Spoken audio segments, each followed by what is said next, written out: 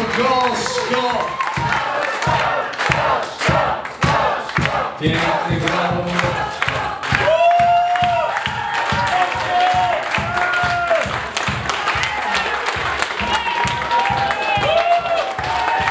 Brawo, brawo! Ewa i Daniel tak zaczęli swoje wesele. Jeszcze raz wielkie brawo!